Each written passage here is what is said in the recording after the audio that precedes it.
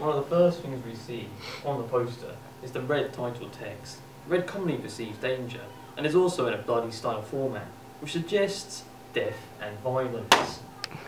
What we can also see is the tagline, someone is missing. This immediately creates a sense of mystery, making the audience want to know who is missing, and drawing them into the film to find out.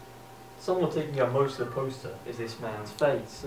The man's face is in the shadows, and somewhat hidden, which once again reinforces the idea of mystery of what is actually going on in the island. The use of the map suggests man may be lighting a dark room, while stating to remain anonymous. This reels the audience in, to want to know what exactly is going on in the island. Next we have a look at the general colour tone of the poster. The tone of the poster is very dark and moody, which is very important for a gritty and suspenseful atmosphere in a thriller film. It makes the audience know that this is not going to be a pleasant film. In the middle of the poster is the island itself. The use of the wire fencing and the lighthouse displays entrapment, meaning there is absolutely nowhere to go, anyone on the island stays on the island. This adds an extra element of fear and suspense, knowing that there is nowhere to go if everything goes pear-shaped.